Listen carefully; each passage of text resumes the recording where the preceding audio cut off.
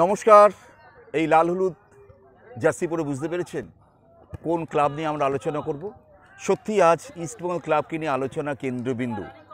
ক্রীড়ামহল, যারা ইস্টবেঙ্গল সমর্থক, তারা ভীষণ চিন্তিত।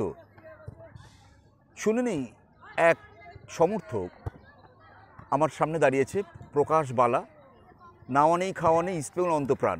কোনো ম্যাচ ইস্টবেঙ্গলে বাদ যায়নি প্রকাশের। এই প্রকাশদের মতন যারা ইস্টবেঙ্গল সমর্থক, তারা বর্তমান ইস্টবেঙ্গল ক্লাব নিয়ে কী ভাবছে? প্রকাশ, এই মুহূর্তে ইস্টবেঙ্গলে যে অচল অবস্থা চলছে, এখন অবধি টিম তৈরি করতে পারেনি ইস্টবেঙ্গল মোহনবাগান অনেকখানি এগিয়ে গেছে টিম তৈরিতে।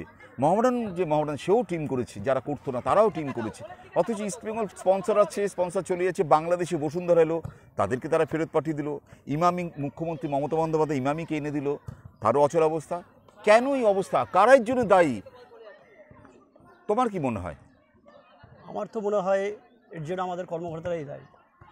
কীরকম? কীরকম? আমরা এই যে টালবাহনা অবস্থা আমরা তো দেখছি আমরা চাই যে কোনো মূল্যে ইস্টবল ফুটবল টিম খেলুক ইস্টবল মাঠে নামুক। আমরা এটাই চাই। যে কোনো মূল্যে আমরা ইস্টবল মাঠে নামবে আমরা মাঠে সমর্থকরা খেলা দেখতে যাব। এটাই আমরা চাই যে ইস্টবল যে কোনো মূল্যকে ইস্টবল ফুটবল টিম ফুটবল টিম আমাদের ঘুরতে চাই। কেন হচ্ছে বলে তোমার মনে হয়? কোনো একটা কোনো উদ্দেশ্য আছে? এখন কি সত্যি কথা মানে বলতে আমি হ্যাঁ। বলছি এ একদমই সম্পূর্ণ আমরা তো ইস্টবেঙ্গল সমর্থক তো আমাদের বিশেষ করে এতটা কষ্ট হচ্ছে আর কি বলার মতো না কারণ আমরা প্রতিটা মুহূর্তে ভেঙে পড়ছি কারণ ইস্টবেঙ্গল একটা এমন এত বড় একটা ক্লাব এত বড় এত সমর্থক কোটি কোটি সমর্থক ইস্টবেঙ্গল ক্লাব গড়া। সেই ইস্টবেঙ্গল ক্লাব কী করে আমাদের সমর্থকদের এই মন নিয়ে খেলা করছে বুঝতে পারছি না আর যারা এখন ইস্টবেঙ্গল ক্লাবের যারা দায়িত্বশীল ব্যক্তি যারা রয়েছেন সব থেকে আমি এখানে কি আমার ভিডিওটা জানি না কারা দেখতে পাচ্ছ এবং যারা দেখতে পা- আশা করি সারা বাংলায় এই ভিডিওটা ছড়িয়ে দেওয়া হোক আমার এই কথাগুলোকে। আমি একদম নির্বিঘ্নভাবে বলতে পারি ইস্টবেঙ্গলে যারা দায়িত্বশীলভাবে এখন তারা টিম করছেন এবং যারা ইস্টবেঙ্গল ক্লাবের দায়িত্ব নিয়ে রয়েছেন, দায়িত্বভার যারা গ্রহণ করছেন একমাত্র তাদের দোষ।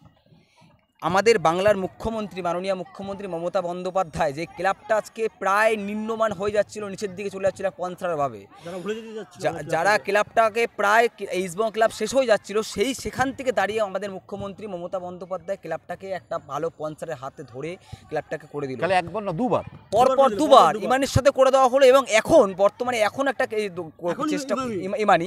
কিন্তু। ইস্টবেঙ্গল ক্লাবের যারা যারা রয়েছে এই দায়িত্বে তারা কেন এগুলো কেন সেভাবে বিচক্ষণ করতে পারছে না। আমার তো এই প্রশ্নটা তাদের কাছে দেওয়া উচিত। কেন এবং- তারা কি সমস্যা হচ্ছে? এবং বসুন্ধরা কিংস বাংলাদেশ তাদেরকেও আনা হলো আমরা দেখলাম। হ্যাঁ তাদেরকেও আনা হলো দেখলাম। তাদেরকেও তো আমাদের করা করতে দেওয়া হলো না। সেক্ষেত্রে মনে হয় না বাংলাদেশের কাছে আমরা হ্যাঁ আমরা মানে লজ্জিত লজ্জিত। সেখানে মনে তো আমরা লজ্জিত, আমরা অনেকটাই লজ্জিত। নিজেকে আমাদের খারাপ মনে হচ্ছে। আমরা ইস্টবেঙ্গল সাপোর্টার একটা আমাদের আমাদের আমাদের হেবি কষ্ট হচ্ছে। আমাদের মন নিয়ে খেলা করছিস ইসবঙ্গ ক্লাব এটা তো উচিত নয়। আমাদের মন নিয়ে খেলা করছে ইসবঙ্গ ক্লাবের তো উচিত না কখনো। কিন্তু ইসবঙ্গ ক্লাব একটা বড় ঐতিহ্যশীল ক্লাব- ক্লাব যেটা নিজেরা নিজেদের দায়িত্বহীনতা নষ্ট করছে ক্লাবটার ঐতিহ্যটা আজ আইএসএল লাস্ট ইয়ারে বারোতে এগারো? তাহলে চিন্তা ভাবা যায়। আমরা তো ভেবেছিলাম যে কি আমরা কত আশা নিয়ে ভেবেছিলাম যে ইসবঙ্গ চ্যাম্পিয়ন হতে পারে আমরা একটা ভালো জায়গায় ভালো লড়াই দেবো। কিন্তু এই লড়াই আমরা কিছু বলতে পারছি না। কিন্তু কি বলব আশা করি ইসবঙ্গ ক্লাব ভালো টিম করবে। আর মাননীয় মুখ্যমন্ত্রী Mamata Bandyopadhyay ইসবঙ্গ club Mohun Bagan club মহাবাগান club সবার সাথেই রয়েছেন। এবং। ইসবঙ্গ ক্লাবের কাছে আমার বিনীত নিবেদন আপনারা সব কিছু জোট গার্ড যা ঝামেলা ইসবঙ্গ ক্লাবের ভিতরে অন্দরমহলে চলছে এগুলো প্লিজ আপনারা এক্ষুনি বন্ধ করুন করে আমাদের সমর্থকদের কথা একবার ভেবে টিমটাকে শক্ত করুন।